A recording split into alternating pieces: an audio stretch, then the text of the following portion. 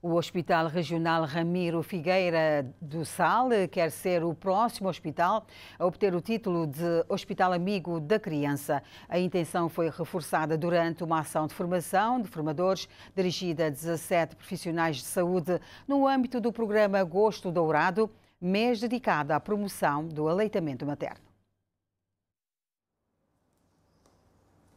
A formação de formadores em aleitamento materno tem a duração de seis dias e envolve profissionais de saúde com técnicos do Projeto Nacional de Nutrição. A diretora clínica do Hospital Ramiro Figueira fala-nos da importância da formação. No âmbito do mês Agosto Dourado, com o objetivo de promover o aleitamento materno, o Hospital Regional do Sal, juntamente com a Delegacia de Saúde, em sintonia com o Ministério de Saúde, em nome do Programa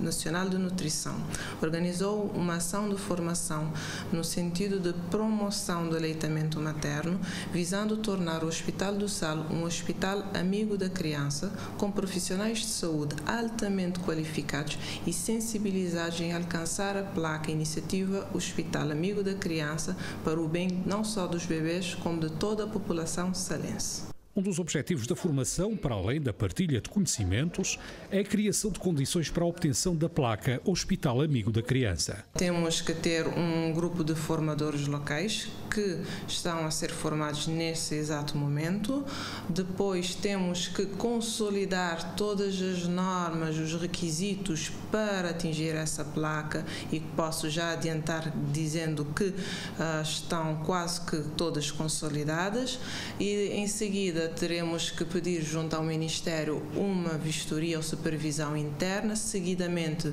externa, e assim, se tudo correr bem, teremos a nossa placa. Quanto à possibilidade de criação de um banco de leite a nível dos hospitais regionais, a nutricionista Irina Spencer, coordenadora nacional do projeto de nutrição, sugere a abertura de postos de colheita de leite materno. Atualmente já temos dois bancos de leite, eh, de leite humano, um primeiro na praia, que foi inaugurado em 2011,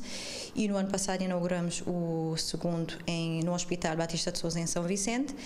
e neste momento uh, estamos a, a, discutir internamente a nível do Ministério da Saúde e parceiros uh, a possibilidade de criar, mesmo que não uh,